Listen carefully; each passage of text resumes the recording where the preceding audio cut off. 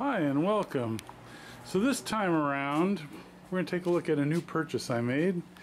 The Harbor Freight 20 ton shop press. And after discount or sale price it was 149 bucks and I made some improvements to it and I just thought I'd uh, share them with you in case you end up with one of these because a real uh, 20 ton press like a Dake would be about a thousand bucks so for those of us who can't afford them, we're forced to go with the uh, notably inferior version of the Harbor Freight design that actually uses a bottle jack rather than a hydraulic piston. But uh, there are some improvements can be made that'll make it a lot easier to use and I'll share with you what I have found. Let's start off with the, uh, the metal pieces that you press against. These things are slicker than snot. As you can see, they just skate along here. And the first thing you do is as you're trying to adjust something, they fall right off and if you're not careful, right on your toe. So the first mod I made, as recommended my brother-in-law, was some way to keep them captive. I drilled four holes, the width of the uh, the width of the uh, the shortest width of the spacing between the cross piece and now they can't fall out but they do slide and since I did it in a square pattern you can rotate so that I can use any of the features on these guys. So the left side's a little tighter than the right side but it does uh, make it I, I drilled it a little close. Also I drilled holes all the way through rather than make blind holes and that was in case one of the pins gets damaged or bent, I can knock it out. If there were blind holes, they'd be much harder to get out. So these are hardened dowel pins. I drilled and reamed them for about one and a half thousandths undersized, so they're they're pressed in equal equal depth. And to do the equal depth, I used my arbor press. And while I was pressing them, I just took another piece of metal that was the depth I want, set it next to the pin, pressed it until they touched. And that was that. Next up is the hydraulic press itself and it's functional, but it moves almost not at all for each pump of this guy. That's how they're getting the massive uh, 20 ton advantage with just this little tiny lever. So uh, what I've done is I spent almost an equal amount on the 20 ton hydraulic jack at Harbor Freight that included an air uh, an air motor that pumps the hydraulic fluid so that you can do rapid changes. So you want to get the uh, six inch travel, this six inch travel close to whatever it is you're going to work on. Uh, that would take a lot of pumps, probably like 50 or so, I'm guessing. Uh, so the air uh, motor should speed that up. The nice thing is that this jack is about the same size as the air motor jacks, so they should just be direct replacements. Let me uh, just pop it over and see if I can swap it out. The old jack is just sitting here in place.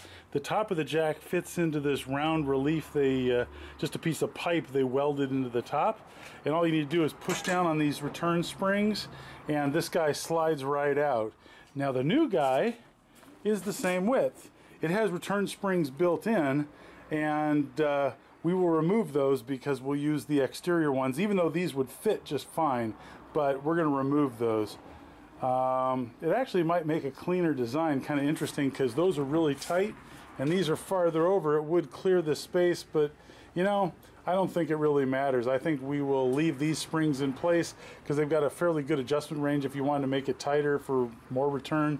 Uh, so we'll leave those, we'll leave these alone, remove the other ones. We're going to pop this jack out this guy is going to go in. The kit came with a really worthless set of handles like all of their jacks do. They really suck. They, uh, you know, the one piece locks into the other but falls out constantly. Uh, this valve's kind of a pain in the ass to use. And uh, this also supports manual and air mode. So all I needed to do to remove the springs was just stretch them a little bit and they popped right off, no problem. The top plate is just sitting here, so that's easy to remove. Nice heavy gauge quarter inch melt bent steel. And uh, they even relieved the inside so it uh, fits very nicely. They did a nice job on this one. It's interesting that they went to more effort on this jack than their other jacks. By the way, the normal 20 ton jack, like the one in here, sells for about 39 bucks, I think. And you get a 20 per, if you get a 20% coupon or 25% coupon, it's going to be even less. Kind of crazy. That would put it down to like, you know, 30 bucks or so, 32 bucks. Uh, this is just a standard jack with an adjustable height. It's too bad I couldn't have this bit on the bottom. They're nice Acme threads and that would be really handy. Uh, the high quality hydraulic piston jacks have a piece like this on the bottom that lets you adjust this to touch the work. Unfortunately, this is on the top, so I don't get to take advantage of that. So here's the new hydraulic jack in place with the air motor in back. And all of the force is going to be straight down on the bottle itself, which is right over the, where you want it to be. So it's a good fit. Only difference was this guy's a little bit taller by about half an inch to an inch. I didn't measure closely, uh, just had to uh, stretch the springs a little more to get in place. So now with the throttle in place,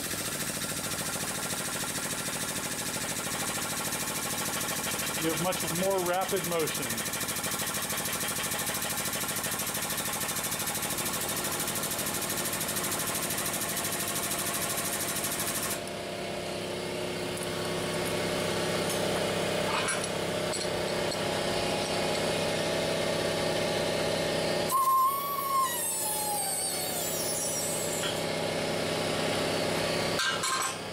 All right, so next up, we don't want to have to use the back of the manual handle to release the jack. So, I mean, yeah, the bottle jack. So what we're going to do is we're going to make a knob that's going to fit on here that'll slide over the central shaft, uh, key in with the pin they've got in here, and uh, um, lock to it with the set screw. This bit here is going to be the knob, and the dimensions are all purely first by my aesthetics. So there's no critical sizes here. I think this would be about enough. I actually had this piece of cold rolled that had this little bit turned down. So I'm going to keep turning that down till it looks like it should be about the right shaft diameter. I don't know, maybe inch or three quarters of an inch. So uh, we're just going to do this free form and uh, try and get uh, an appropriate dimensions that I like that I find aesthetically pleasing. Just setting some zero points here. So if I consider this my zero point, I can work towards that. So let's try uh, 50 thousandths depth of cut, 7 thousandths of revolution. RPM will be 440 at the start. See how that works out.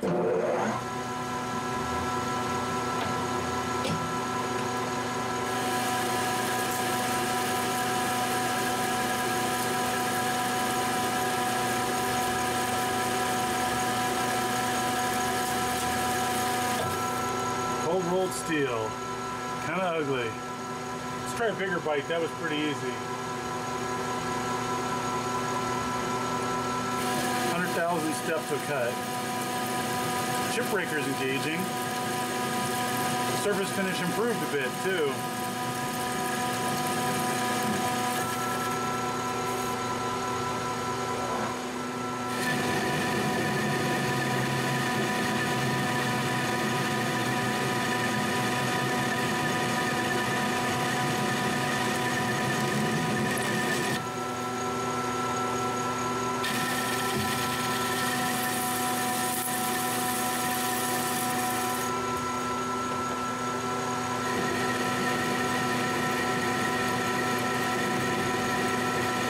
So this is 75 depth of cut, same feed rate.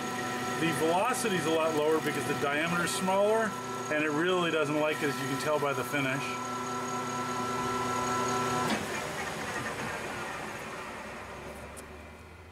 So here's a different style cutter and we're going to try a really slow feed rate with this guy.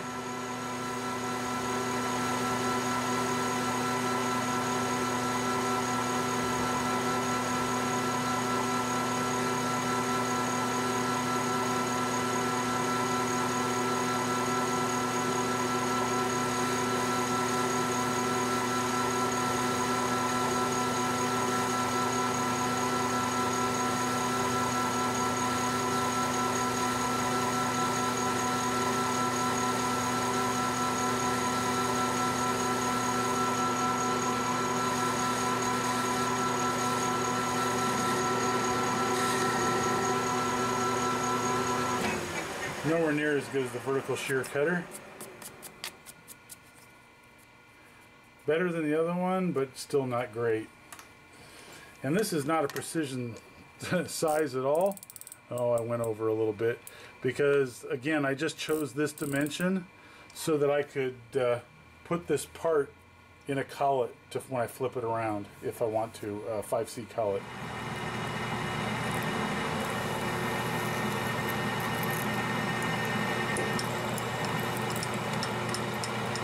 Alrighty, I think that should be good. I'd almost parted this off before I drilled this hole. That would have been kind of silly. So I flipped the uh, knob around, or knob to be around, and I put it in my uh, collet chuck. That's why I chose 3 quarter inch. It's convenient. I knew I had a collet for it, so that's what I'm doing. So now, I just want to get the thickness down to something I like the look of. So we're going to try a 75 thousandth depth of cut and just see how it works.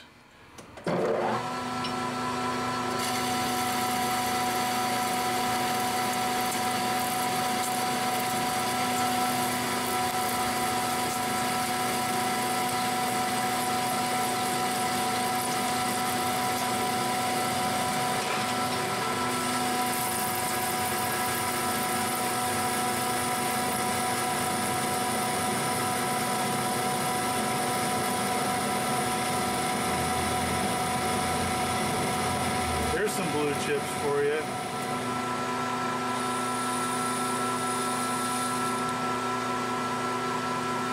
So just for appearance, I'm cutting a dish on the inside. And then I'll knurl the outside. Originally, I was going to cut scallops in it, but I, I changed my mind as I often do. As sort of the design evolves since this is all decorative anyways. So let's see if we get a better finish at 1100 RPM.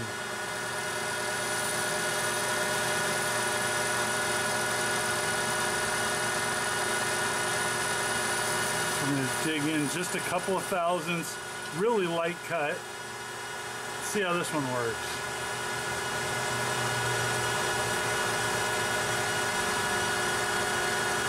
Uh, that kind of appears to be doing a better job. So I'm like only a couple thousand steps of cut 1100 RPM. I kind of like that finish.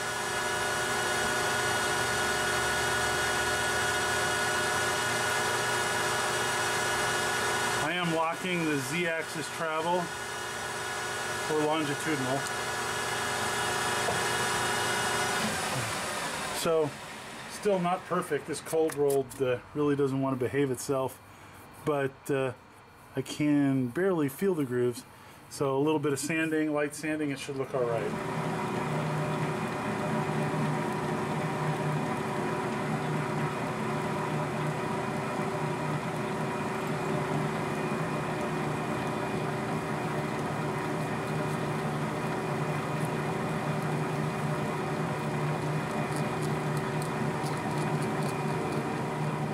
There we go. Wow, that's a really nice deep knurl. That'll be great. Great grip. And I think I'm just going to bring the chamfering cutter out one more time. And I, I did a little bit of extra damage to this side. It's also not symmetrical. And I think the height of this was not exactly right. And that's why. But this will still work great. I always talk about how order of operations is important. And uh, here I've gone and made that very mistake. So I knurled the outside edge, yet I have to clamp this in the vise here, which means that I've got to risk damaging the knurling, or if I use soft material, it's risk being embedded in the knurling. So that really wasn't thinking too far ahead on my part. Uh, I should have waited to do the knurling as the last step because I can always grab by the three quarter inch shaft. I just figured since I had it there, why not? But uh, that wasn't thinking too far ahead. So uh, let's get this guy in here so we can cut our slot. Since this is by no means a precision operation, I just dropped my center in here, held it down, tightened the vise, good to go with the part in place. And uh, again, the slot, not a precision operation, so no need to be uh, bring out the coaxial indicator because we don't need to be that precise. So I'd like to point out that I've had really terrible luck with these tiny carbide uh, eighth inch cutters. They come in packs of 10 you kind of need them. They break so easily. So uh, we got to go high RPMs on this guy because that's what they need. We're going to run the mill.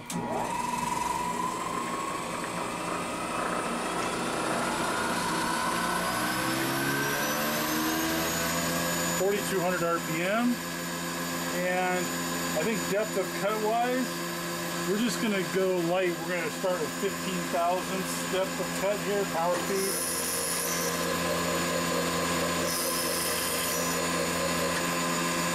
Try another 15.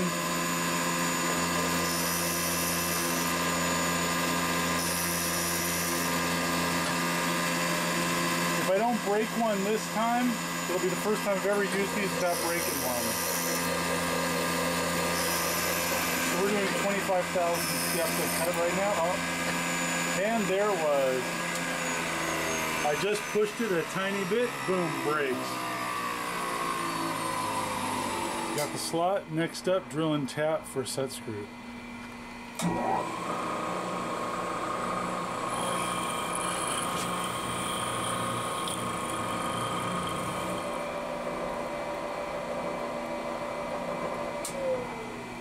All right, so let's uh, go over to the uh, hydraulic press and see what it looks like. Here's the knob in place, uh, works well. Uh, the set screw probably wasn't necessary because they did such a poor job making the shaft that it is tapered and so the knob got tight before it was all the way in anyway so I tapped uh, the rest of the way and uh, tighten the set screw, but probably wasn't necessary. So next step is to make a better handle than the craptastic one that came with it. I had a spare piece of stainless that I made to shape and it's a little bit larger in diameter than the hole so I just made it fit. It's a bit heavy. Uh, it works fine and it's nice looking but uh, I think there uh, could be a better solution. So I'm going to try some hollow aluminum instead. So version 2.0 handle right here, made out of aluminum, thick walled, fits nice and snug, not too snug, but uh, easy pumping, very light, so doesn't fall out on its own. I was originally considering putting a pin in here or putting a little knob with a thread on here to keep this thing in, but it actually uh, it actually doesn't fall out even when it's all the way down. It's, it's pretty good. All right, so next up, see if we can do something about stopping these pins from popping out. So my solution to keep the pins from popping out is I took them out, drilled and tapped them quarter 20, and I'm making a set of these caps that I'll put a bolt through and Loctite in place and I will screw these over the end. They don't have to be particularly strong. All they have to do is stop this from sliding and by pulling against this on both sides. So I've got to make four of these. I've already made one just to test it out. Uh, let's go over to the lathe here where you can see that I've prepped my material. I have drilled all the way through to depth uh, a tap drill and I just need to take each one of these now and I need to uh, bore it out to 8 tenths of an inch wide, quarter inch deep, uh, part off the uh, tool, uh, part off the part and uh, on to the next one. The first step uh, to, to, boring this out is I have to get a hole big enough for my boring tool to fit in and the little number 7 drill bit in the middle is not big enough so I'm going to take a half inch end mill so I can get a flat bottom and I'm going to use the DRO on my tailstock that I made in another project, then you can check that out if you're interested. Very useful tool, I use it all the time. And so uh, use the DRO on my tailstock and we're just going to go in the quarter inch. I mean it's not a critical depth or anything. This is not a precision part by anything, by any means, but I'd like to get it uh, pretty close.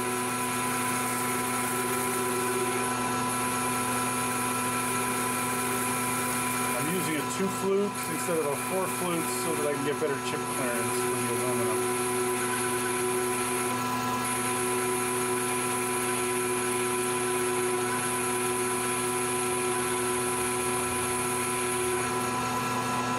The other solution, by the way, there is another solution other than this one, and uh, that solution would involve taking a half inch drill bit and taking it to the grinder and grinding it flat across here and then adding a little back relief for each cutting edge and then you know sharpening sharpening that edge make sure it's back to sharp. But you can make flat bottom drill bits as well. Um, anyways just in, just pointing out there. So now we're going to bore this the remaining uh, three tenths of an inch. So I set my depth so I originally was going to set this to zero but I thought it's easier to count down to zero so I went all the way in since the uh, boring bar fits and set my zero there. I also set my inside zero, so now we're going to just go to 0.8. And uh, let's try 77,000.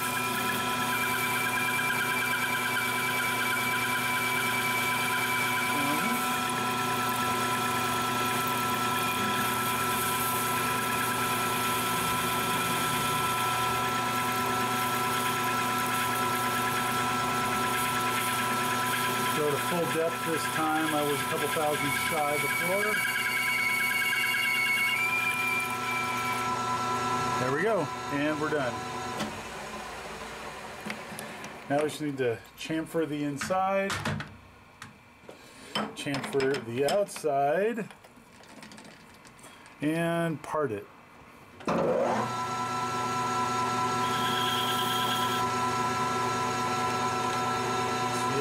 Inside.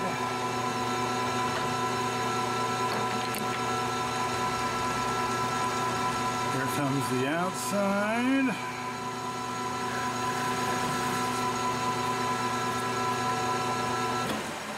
Now we part it. Almost forgot a step, still have to tap it.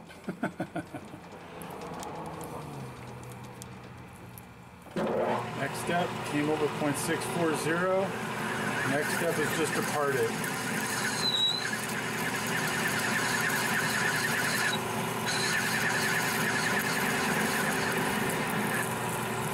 It's amazing what a difference lube makes to the, uh, the sticking of the chips inside. I went the first time dry. I didn't want to clean the lube off just to see. It makes a huge difference on this particular material with this cutter.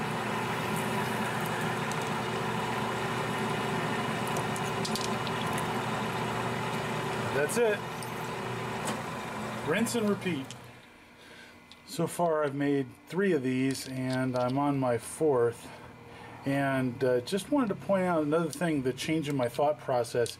And each step I was trying to think, if I was actually trying to manufacture these and create a bunch of these, how would I speed up this process? So I thought first, okay, I should drill all the way through all the parts if I can, uh, if I have a drill bit long enough. Uh, that would save me time changing tools. Uh, then when I was parting it, I noticed, oh, why am I only relieving one side? Even though I'm going to face this, I'll just over relieve this a little bit, face it, and I'll have the right relief on that side. Uh, so I'm trying to do multiple steps at one time so I don't have to change tools because it slows you down. And uh, I'd love to hear from the guys that do it for a living because for them time is money. For me it's a hobby and I can afford to make mistakes that uh, cost me time. Anyways, just something to think about uh, while you're making these things. I thought it was kind of interesting. So here's the final product. These button screw heads don't go flush, so I'm gonna have to do something about that, but temporarily this will do the job. Just thread them on there, don't need to be tight. The only job, the only point of these is to stop the bar from being able to slide out, which it does. So that's perfect. Finally, got to put a couple hold downs here because this guy's loose and it drives me nuts. The only thing that happens when it's loose is that it just rotates because the uh, the piston is located by this little exposed piece of pipe that they welded to the top. So it can't move. It's just annoying. So it's either that or I drill and tap and put like a spacer in this corner. That would locate it and it really couldn't go anywhere because it can't. And then also they're counting the fact that once you put pressure on this by pumping it up can't go anywhere either because uh, now friction is going to hold this against this because obviously you're going to have up to 20 tons force.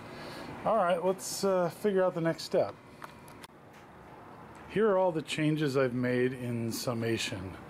Uh, number one and biggest change is I replaced the jack. Um, this one has an air motor attached right here and that allows the piston to be uh, extended much more rapidly. Uh, number two, these guys, slicker than snot, had nothing to keep them on the crossbar. So I drilled and reamed for pins, captive pins, and the pins prevent they allow it to slide but they can't pop out. And since there are four of them I can choose any of these four directions and I can use any of the uh, the cutouts that they've already provided. Next I made the pins captive and they're easy enough to re remove. I just put these little uh, aluminum discs. I drilled and tapped both ends of the pins so that uh, they can't come off because I found one off twice.